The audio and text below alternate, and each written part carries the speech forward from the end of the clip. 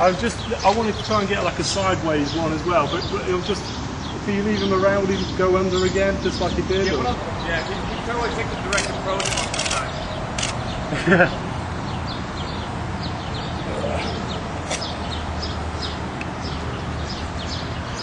Why can I just, I really need to try and get that front one in, which is going to be difficult, obviously, because it comes, Come straight at you. yeah.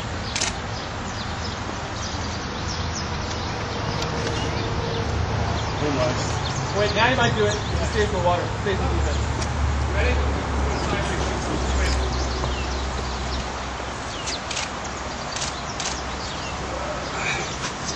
I like to go wider. Uh, you might just have to duck, see if I can get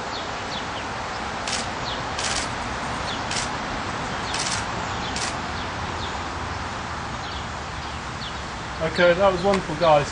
So I just really want to.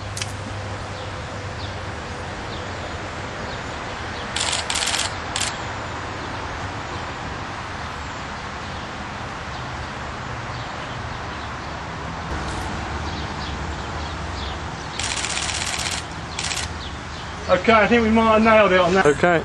Um, so obviously you're English, Lee. Right. And uh, where are you from originally? Uh, raised right near Oxford. And what brought you here to San Francisco? Uh, actually, my, my father's company brought us out here when I was uh, 18 years old. So, And how did you get involved with um, the animal lion and tiger training? uh, well, I actually had a, a corporate job. I was a fraud investigator, and I got tired of the corporate world. Decided I want to follow one of my things I've always wanted to do, and that's work with animals.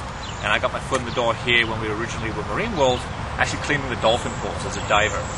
And I've worked my way uh, through the park, and I've been here for 13 and a half years. And I've raised a lot of the tiger cubs here we have, and uh, Odin, like you saw, is one of the cubs I raised. And so how long have you, um, you raised him from a cub, Odin, and how old is he now? Odin is five years old. He's going to be six next month. And what sort of a tiger is he? He's a white Bengal tiger. And what makes him so special? Why is he such a big feature of the park? Uh, well, one thing is he's a white tiger. People love the white tigers. Uh, Odin can be very personable with trainers. They also can be a little snotty sometimes. But, you know, he is a wild animal, so you have to be careful. And is it rare to see them diving like that? Uh, yeah, this is one of the few places in the world you can see a tiger diving underwater. Uh, in the wild, though, they would if their prey sunk in the river, because they hunt in and around water, they will go underwater and get it. We can actually showcase uh, that behavior here. And um, and is this a, is a white tiger is very rare? Yeah, the last white tiger was shot and killed in the wild in 1958. There's not been a white tiger in the wild seen since then, and probably there are more now than there ever were because of zoos and uh, parks like this.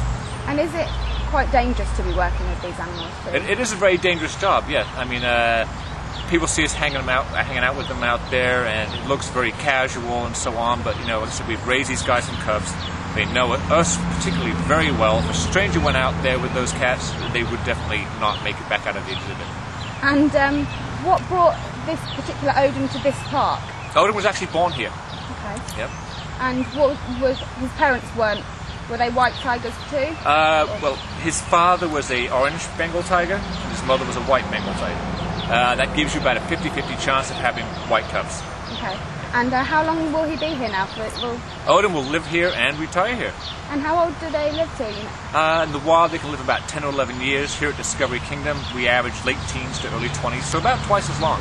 And he doesn't like to share his pen with the other tigers. No, he, he hangs out with a couple of other younger ones, the Siberian cubs we have, that are two and a half years old. But uh, pretty much anything else, no. Doesn't Tiger. Sorry.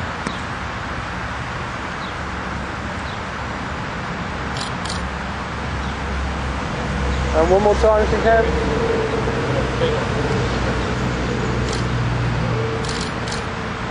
Okay. Um,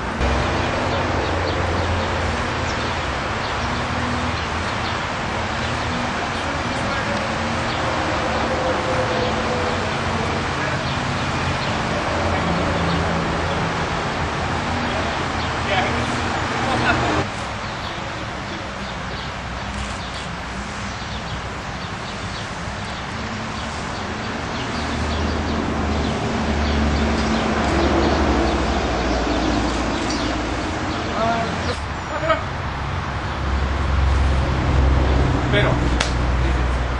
Leave it. Come. Leave it. No. Come.